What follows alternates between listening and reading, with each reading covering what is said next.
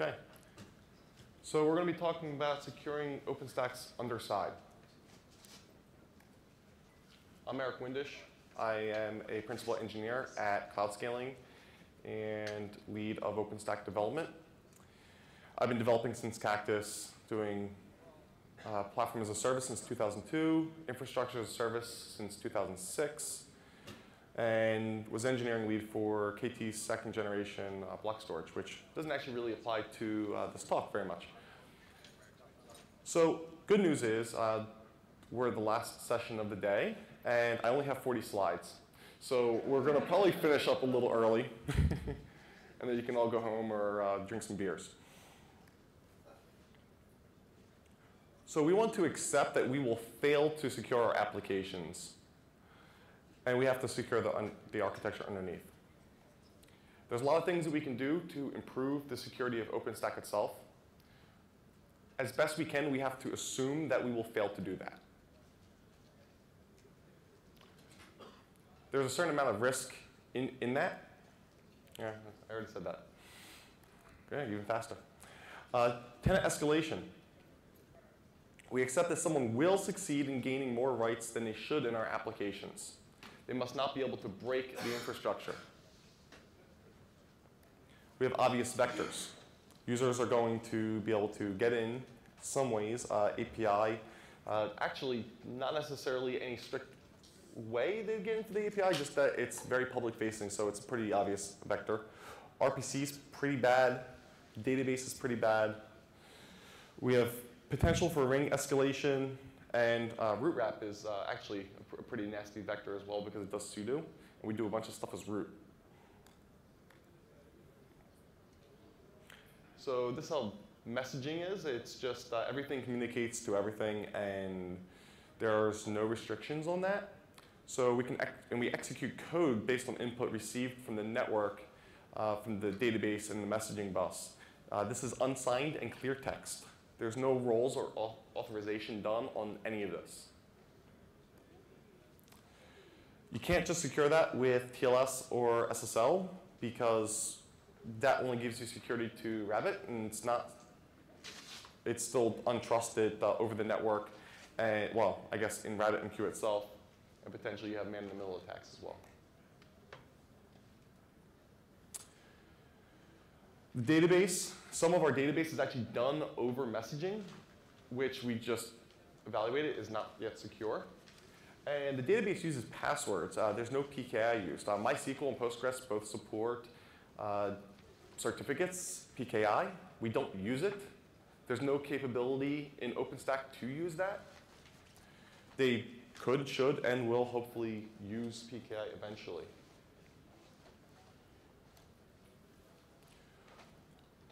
There's the intentional limited escalation that we do in rootwrap. So we need to do things with escalated privileges. That's done as root. It's not done with system capabilities. Uh, the input usually originates from the database or the message queue, which, again, are not secure. Uh, we do use sudo to filter the input, uh, no granular stuff. And we can break the hypervisor. We can have ring escalation. You get jerks like this that go in the Mordor and climb up the mountain and throw the ring in and uh, break stuff really badly for us. Yeah, can't trust those hobbits. Make your network secure and assume it isn't. You have out-of-band attacks people coming in over your VPN and it's not terminated at the right place, or maybe they, there's no firewall, or they get through it, whatever the case might be. Uh, using DNS is a risk of man-in-the-middle attacks and all sorts of nasty things. Uh, don't use DNS or use DNSSEC. Um, it's actually not that hard to not use DNS. Um, it's kind of hard to use DNSSEC. Uh, you should use it. Um, there's good reasons to use DNS, but if you're going to use it, do it right. SDN can be compromised and somebody can reconfigure your network. That's kind of a scary thing. Uh, I know people want to try and prevent that from happening. So the whole point here is that we want to accept our failure to do all of these things. We'd like to do all those things. We may not be able to. Um, some things that we can't fix or presume that we will not be able to fix at all, or our supply chain. Uh, maybe the government can do that because we can't necessarily trust that somebody's not going to do something at your vendor. Uh, someone in your transport, customs, uh, your postal services, FedEx, uh, ship, shipping and receiving, anyone at any of these vendors, uh, people who design your CPUs, your systems integrators, motherboard designers, uh, BIOS UEFI uh, developers, router designers, manufacturers, developers, switch designers, Southbridge designers, NIC designers, manufacturers. you have to trust all of these people. If you use TXT, if you use secure boot, you use uh, TPMs, all of these things can circumvent that. And unfortunately, there's nothing we can do about it. Uh, it'd be nice if we could. I mean, there are some maybe some extreme things you can do to prevent it, but at the moment, it'd be great if we can fix these problems, but we can't. So we have to accept that we're going to fail here. Uh, firmware compromise is something we can actually kind of do a little bit more about, but it's still pretty bad. Ethernet controllers in particular are kind of vulnerable. In January, there was an Intel EEPROM failure where you could actually kill network controller firmware or, or kill the network controller over the network by sending it a magic packet. And it practically affected most of the Intel controllers out there today. And that was really, really bad. And that's only one step away from an overflow that would have actually allowed you to overwrite the firmware over the network.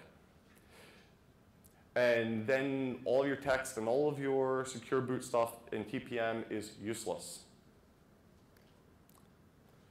So what we can do, to the best of our ability, is to secure the underside. Uh, and to do that, we need to secure our boot process and our installation. Um, so this slide might be in the wrong place, but we want to probably talk about who wants trust a little bit. We want users to trust their provider and their provider systems. Providers do not trust their users. You don't. If you're a provider, if you're whomever is public provider, HP, Rackspace, uh, Datafort, any of these public providers that are coming out, Bluehost is a new one. You don't want to trust your users. They're just people that give you a credit card. Users do want to provide uh, trust their provider, or unfortunately they have to, um, or presume that they have to. Uh, but the trust doesn't go both ways. So we need to convey trust. Uh, because the systems want to, the providers want to trust their systems, you need to use attestation, uh, measure the state of your system, uh, verified by remote systems. You want to, for the provider to the user, you need to have transparency, effective communication, third-party auditing. Uh, CloudAudit kind of fits in there potentially. And effective communication to users may actually also include attestation.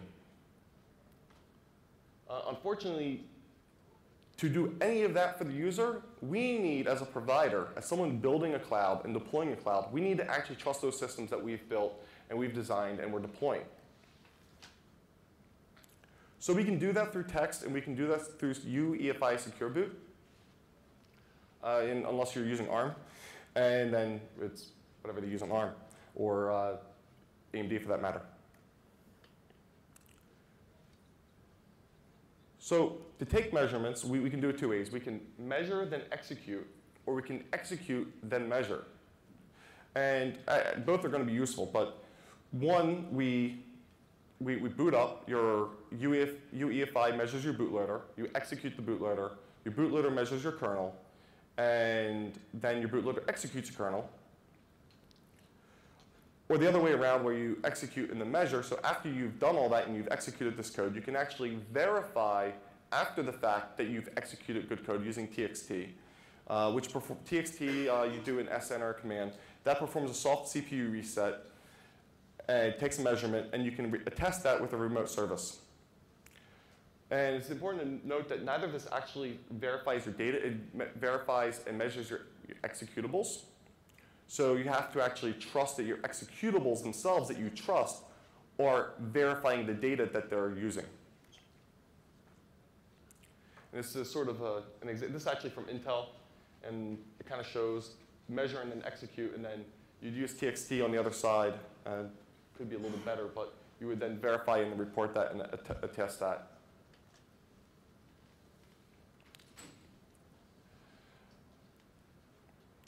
So on one hand, you ensure you don't execute the bad code, and on the other, you verify you didn't execute the bad code. And both are desirable. You don't want to, there are some that will say you can just do the verification, you can just uh, use a dynamic root of trust and verify you haven't uh, executed bad code. And there is definitely value in doing that. But I'm of the opinion that one should never really execute code that they don't trust in the first place. Uh, it's great to verify it after the fact, but you really, as best as possible, never execute it. So trusting your systems means trusting the software it runs,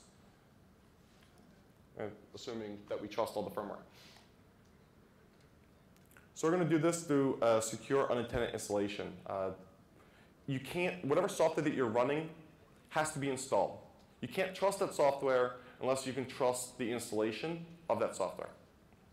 And that starts all the way back at your bootloader. So this is how you would do a PXE boot typically. Your system boots up, it loads the, the BIOS or the UEFI. You boot from PXE. PXE gets an IP address off of BootP and a TFTP server to download an image. You download all this stuff over the, the network, which for the sake of argument, we'll presume is untrusted and has been potentially compromised. You download the bootloader, you execute the bootloader. The bootloader downloads the kernel from TFTP, executes it. The kernel downloads the file system uh, initRD file that contains your installation uh, media or medium and loads it and executes code that's in that file system.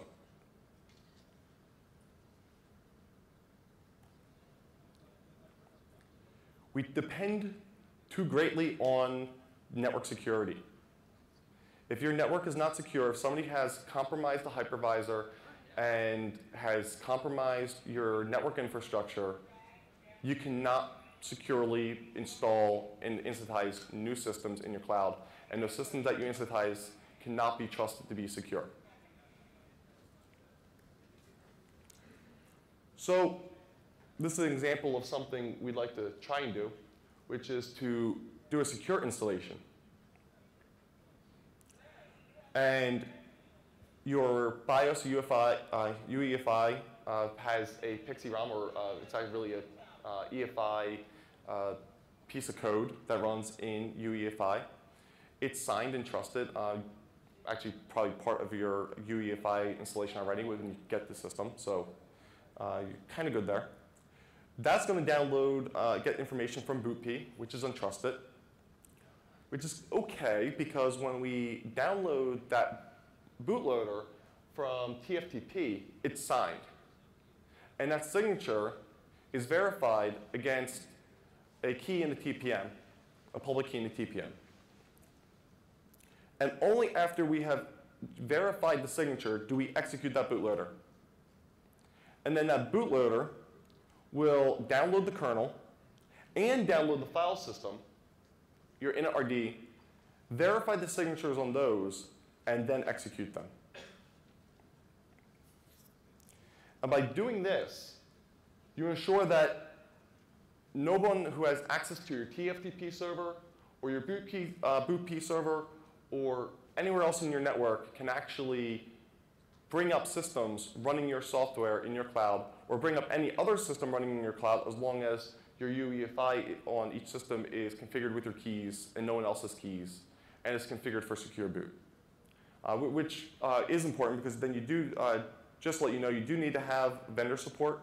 Uh, in general, if you're doing this at scale, you'll have to have your vendors remove Microsoft's keys, first of all, uh, and install your uh, public key into the SKS, in the in, in the hardware.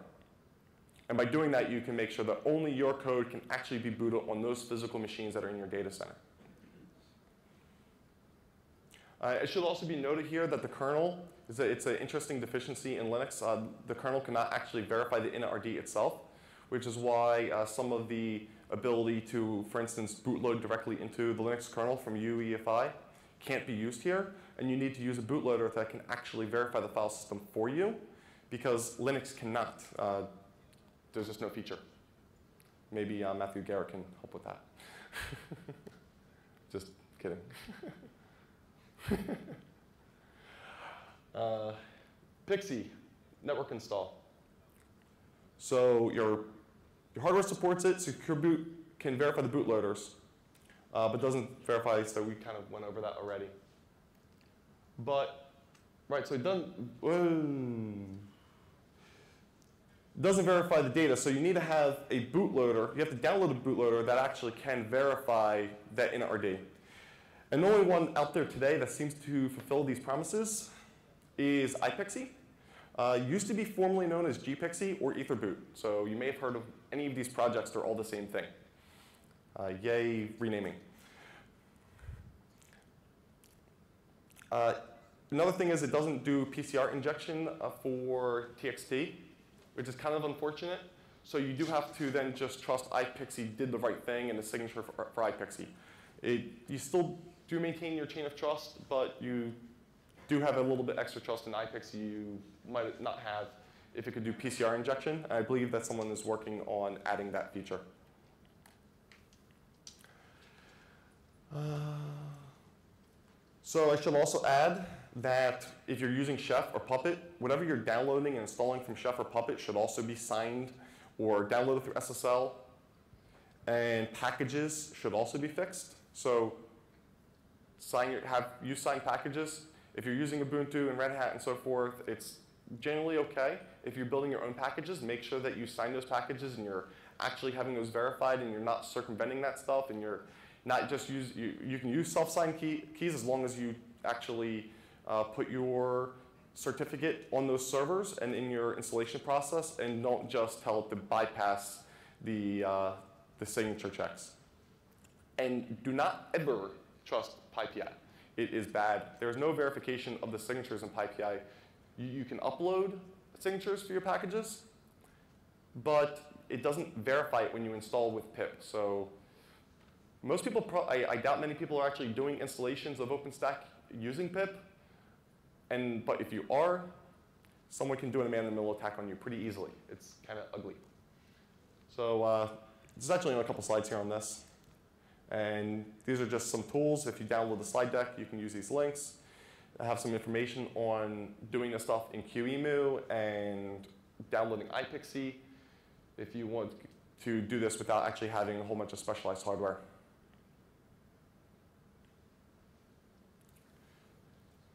Uh, yeah, we're hiring, so come work at Cloudscaling. So as I promised, we'd finish early. I was just about right. We're at 18 minutes. I thought it'd be about 20. And I'll open the floor for questions, comments. Uh, please walk to the microphone if you can. Or not. Questions? None? Yay, we get to go home?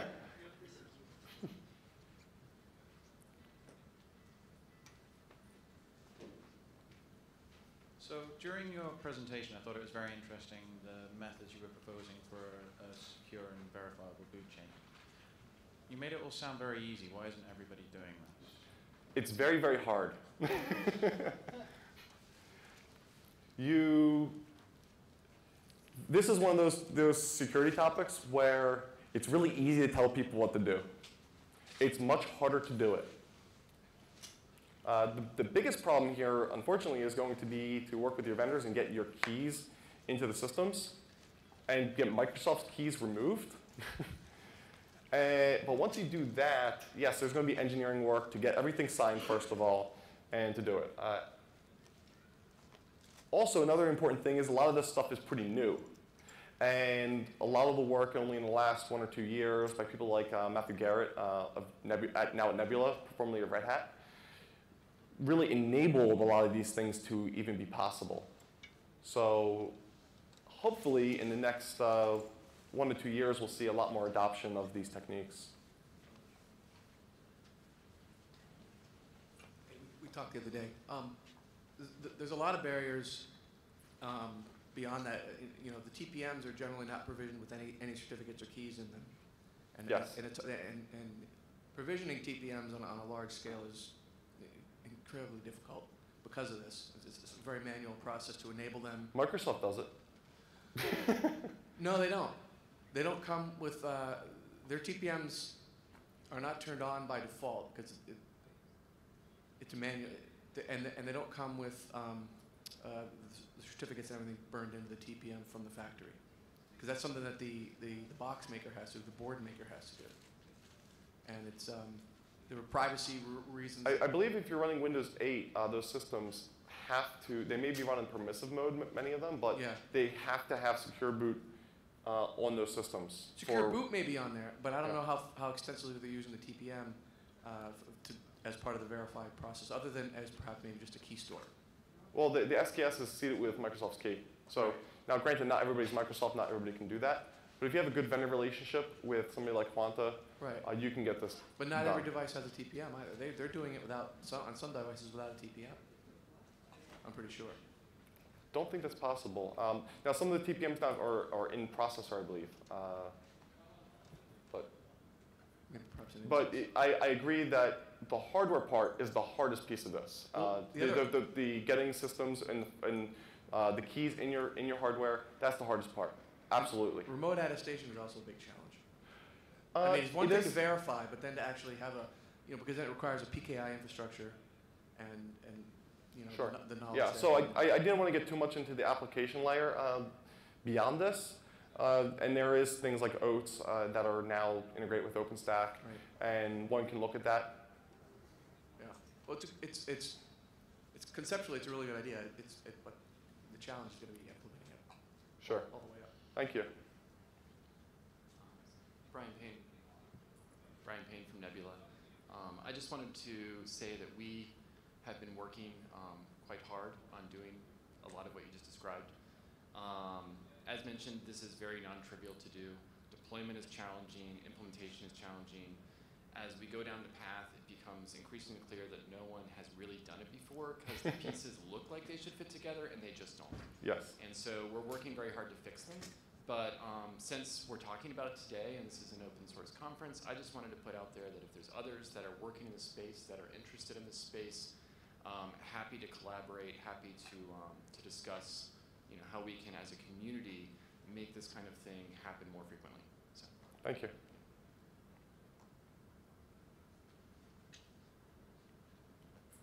Uh, if there's no more questions, then I think we can break. Awesome. Thank you.